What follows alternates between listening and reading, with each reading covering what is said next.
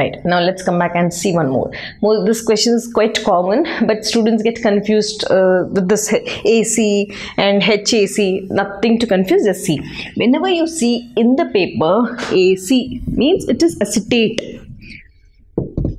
Right. What is hac it is hac is nothing but acetic acid. How? Acetate CH3COO minus and H acetic acid. If you remember this, it is easy. Nothing else is here. Now, come back to the question. First thing, given data. Uh, second thing, formula. Then third, substitute. Okay, formula for formula, I need space. Then third, substitution. We'll follow this. Now, first given data, what do they give me? Molar conductivity infinite dilution for NaCl, HCl, NaAcR. Okay, molar conductivity for NaCl is how much?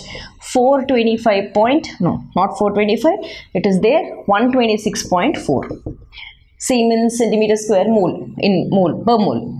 It's already there. Next for lambda naught for HCl given to me is 425.9 lambda naught for NaAc. Okay, now you will tell me what is NaAc. Let us write that. There's one more NaAc. Let us write NaAc. AC acid acetate, right? So this is CH3CONA. NaAc is CH3CONA. Okay, remember this. Well, let's come back. NaAc is 91. All are Siemens centimeter square mole inverse. There's no place. I'm not writing it. Now, what should I find out? I have to find out lambda naught for HAC. What is HAC? For acetic acid, I have to find out.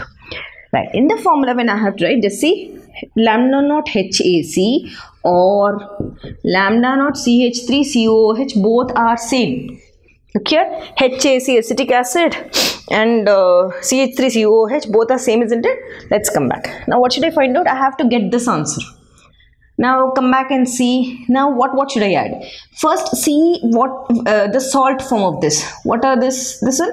The salt form of this is NaAc. Write down.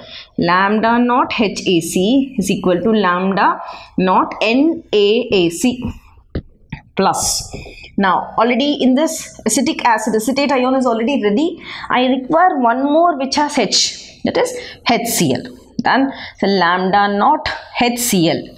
Now what should I subtract? I have to subtract NaCl. Why? Why? We already said earlier.